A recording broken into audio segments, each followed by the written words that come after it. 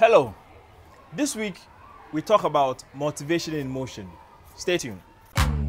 You and I, we need to talk. That the end of my Benjamin. So, if you've been following this channel, you know I have an NGO I'm working on and it's Motivation in Motion. Well, about a month ago, we had our launch and we had a very big event dubbed Bank Your Portrait to raise funds to support the NGO's activities.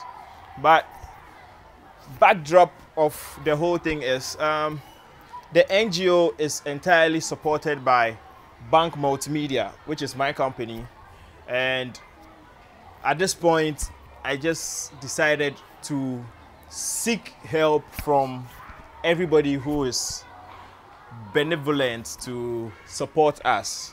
And the outcome is, is encouraging because at the launch of the event, we had a lot of people coming to pledge and to uh, donate and to give us directions as to where and how to go about our activities.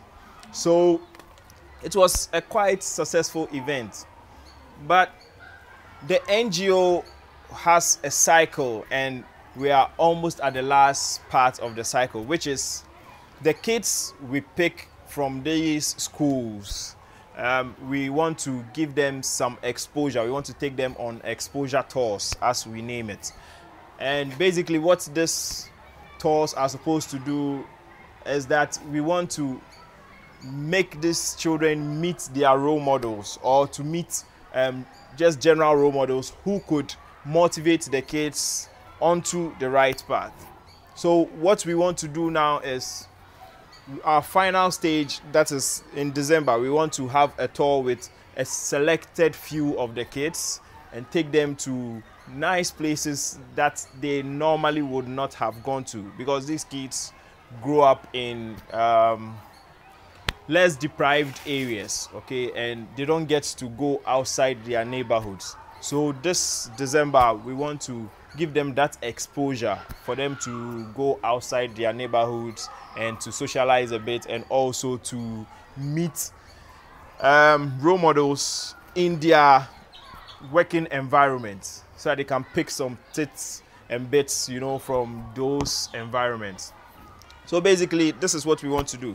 We'll have a bus carry these kids take them round town show them some um, iconic places in accra. Also take them to some few role models who would be available on the day. And then we have them interact with the kids and bring them back have some small refreshment for the kids and send them back to school. So basically that's the end of the cycle.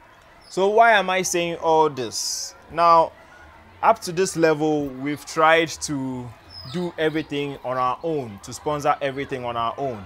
But at some point, we want to seek for more help because it's becoming a bit more difficult as we grow. So, as an NGO, we want to open up and invite people across borders. All right, if you think you could support these kids in any way, basically, the support we need mostly will be finance. But if you have any help that you think would help school children.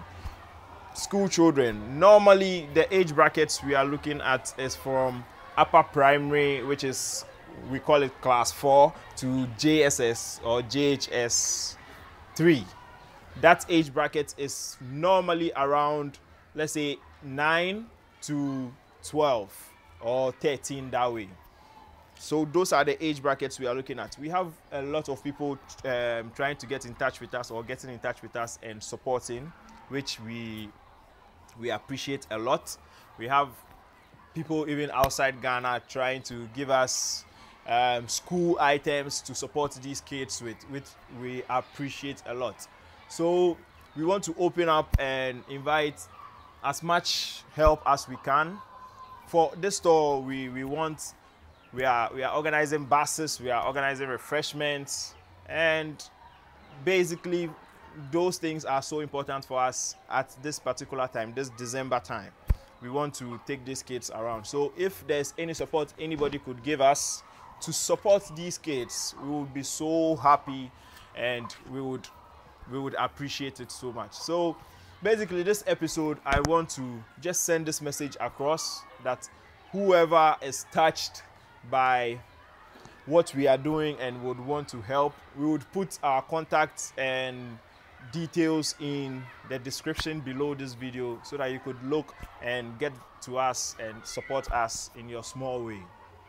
And one thing that we realize from our events is some people think that we have money, that's why we are doing this thing. Somebody actually said this that you people, you have money, that's why you are doing this. But you see, it's, it's very sad to hear such things because I don't have all it takes to, to help these kids. I don't have all it takes to do everything I want to do for these kids. But the little that we can come up with, that's what we try to do.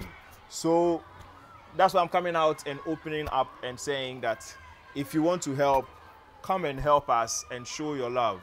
Sometimes it's just the time and the effort you can come and put into these things that we appreciate a lot because it's just a team of young people trying to help some children around and the numbers are sometimes overwhelming. So please we don't have it all. We don't we are not so comfortable. That's why we are helping people. We are helping people even in the times that we are also um, in need of help. So let's all be generous. Let's all try and help. And in any way that you can help please contact us and we would appreciate it so much. So thank you for watching. And yeah this is the end of this episode. See you next week. I hope you enjoyed. Mwah.